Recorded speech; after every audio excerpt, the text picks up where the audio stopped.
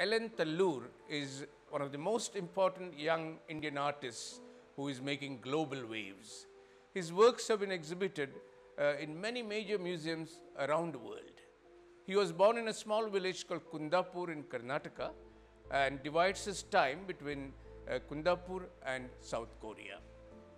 He studied museology in MS University Baroda and his works are heavily influenced by museology and by mythologies. Actually, he traverses the mythologies of the world with the ease of the wind. This work, Ukai, is inspired by a Japanese and Chinese fishing technique called Ukai. In this technique, cormorant birds are used for catching fish.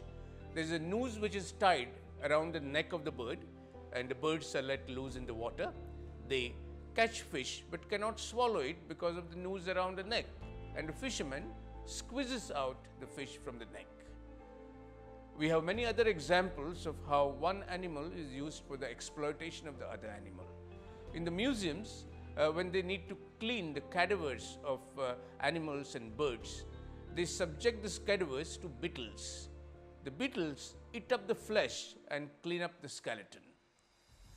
Tallur's work is a commentary on the exploitation of the animals. It's also a commentary about human greed where animals are exploited for money.